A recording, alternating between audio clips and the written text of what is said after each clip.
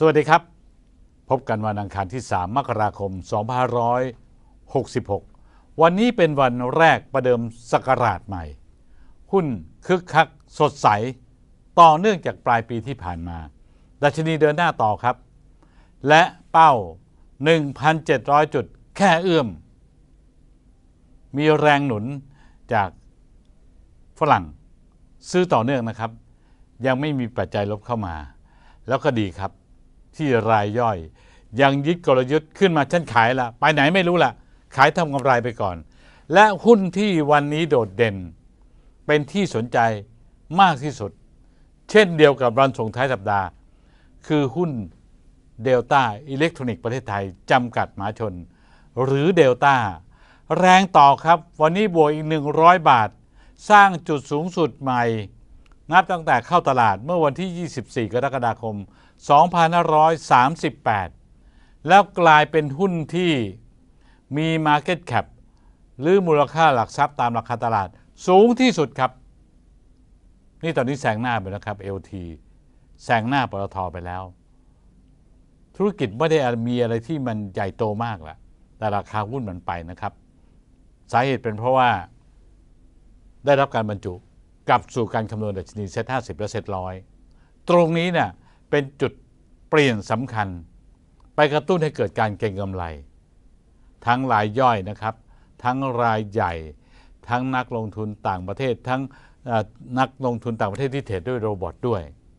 ก็มาลุมมาตุ้มมันเข้าไป สงสัยไม่นาน จะเห็นเดลต้าแต่ระดับพันไม่ได้ชี้นำนะครับ แต่เล่นกันแบบนี้เนี่ย คือมันไม่ได้เล่นกันด้วยด้วยปัจจัยพื้นฐานนะครับเดลต้าเนี่ยเล่นกันด้วยว่าเป็นเครื่องมือในการปั่นดัชนีเซ็ตห้าสิบไม่ได้หวังว่าเราทำกำไรจากส่วนต่างราคาหุ้นเดลต้านะครับ แต่หวังไปทำกำไรกับ futures SET50 หรือสัญญาซื้อขายล่วงหน้า SET50 เพราะเดลต้าเนี่ยมีน้ำหนักกันในการคำนวณดัชนีสูง และ สภาพคล่องต่ำซื้อหน่อยราคามันก็ไปได้เอาละครับก็จับตาดูนะครับ คิดว่าปีนี้ตลอดทั้งปีเดลต้าเนี่ยจะติดอยู่ทำเนียบทุกวันนะครับหนึ่งใน 10อันดับหุ้นที่มีการซื้อขายสูงสุด และราคาจะวูบวาบ เป็นตัวที่จะทำให้ดัชนีหรือภาพตลาดโดยรวมเนี่ยบิดเบือนไม่ตรงกับค่าได้จริง เพราะหุ้นตัวเดียว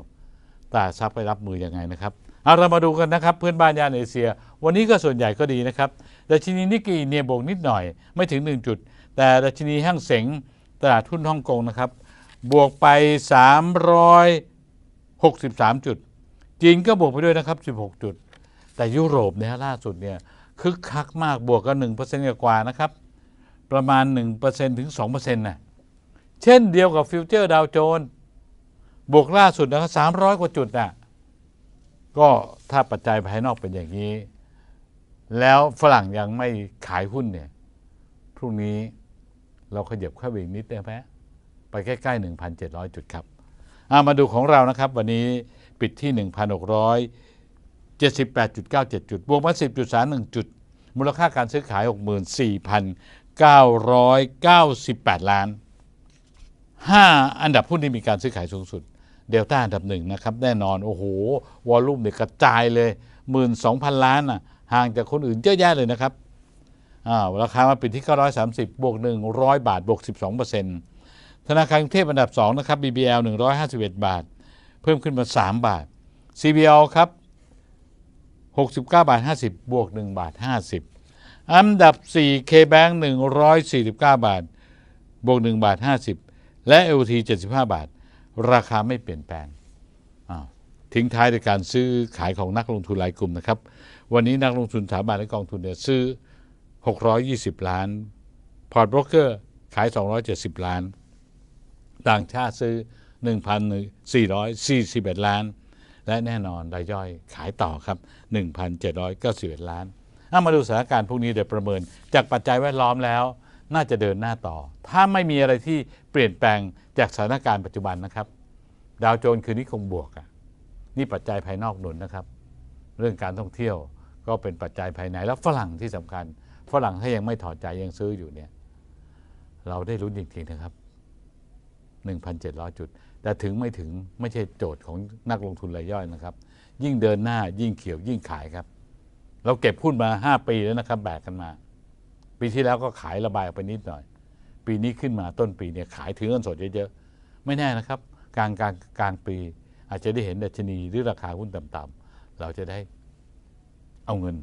ที่ขายทางกำไรตอนนี้ ตุนไว้แล้วไปช้อนของถูกจริงๆนะครับพรุ่งนี้ปิดตลาดแล้วกลับมาคุยกันใหม่ แล้วหวังว่าจะกระเยียบเข้าไปใกล้ๆ 1,700 จุดอีกสักนิดหนึ่ง วันนี้เวลาหมดแล้วครับ สวัสดีครับ